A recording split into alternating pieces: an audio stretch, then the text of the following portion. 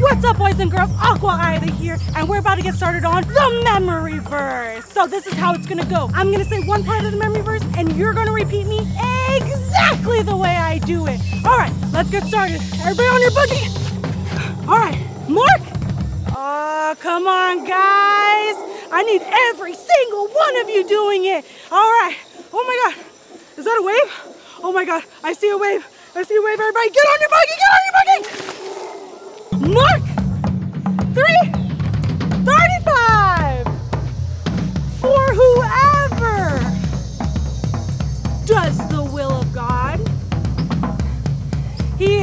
Brother, your sister, and mother. Mark! Three! 35! All right, give it up, boys and girls! Good job, everybody! All right, I gotta head off. Enjoy the rest of the safari. Woo!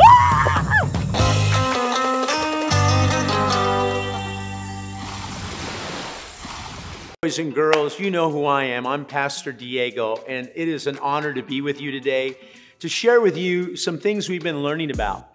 We've been talking about being a family. What does it really mean to be a family? You know what a natural family looks like when you have a, a, daddy and you have a mommy and you have a grandpa and you have a grandma and you have a brother, you have a sister.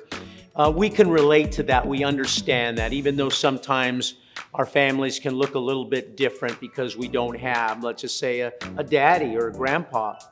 We're part of a spiritual family. When we accept Jesus Christ, we are united. We come into the family of God. It's like he adopts us, He brings us into that family, and that family is going to live forever. It's an eternal family.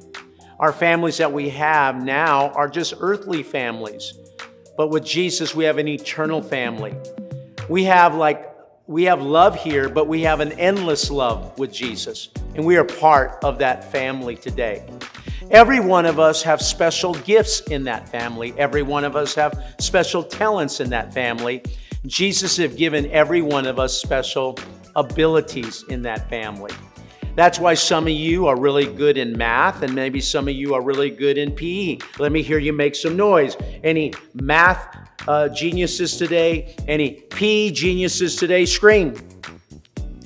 Some of you are really good at Nintendo games or whatever game that you play out there. Uh, and some of you are really good at running or swimming and you have a talent or gift. Those are natural talents. God gives us all a spiritual talent. That's what you will use when you get bigger. That's what's being exposed here, you, you're discovering right now. It might be an, a, an amazing smile that you have, a positive outlook. You are always very concerned about people suffering. It's going to lead to maybe what you'll do for what we call a job or a career. I pray that you discover the uniqueness of who you are. Don't let anyone make fun of the uniqueness of what you are in the family of God. Many of us struggle, at least I did when I was a little boy, because I thought I was maybe too short or I thought I was too big or, or maybe I, I thought I didn't measure up. But the reality is, is God used me as you look around and you see this beautiful church that we have. That was part of the gift that I discovered. The enemy always wants to lie to us and say that we don't have gifts. Every one of you are uniquely formed and gifted by God. And I pray that you bust out of your box and your shell and discover today and ask Jesus, what have I been gifted to do to influence and impact the world today? You are part of the family, and God has gifted you with something special to give back to the family, the church, your natural family, and this world that will give glory to God. Thank you for listening to me today. Hey, boys and girls, we've been talking about family. And you, would you like to join Jesus' family? I know you would.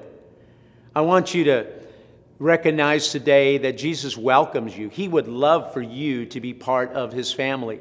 And when you're part of his family, then you get all the blessings of that, of that family. You get all the benefits of that family. You get all the happiness and joy of being part of that family. Some of our fam- natural families aren't very fun sometimes, and there's a lot of hurt there. Sometimes in this world, this world has a lot of pain, but when you join the family of God, you eventually will go to heaven.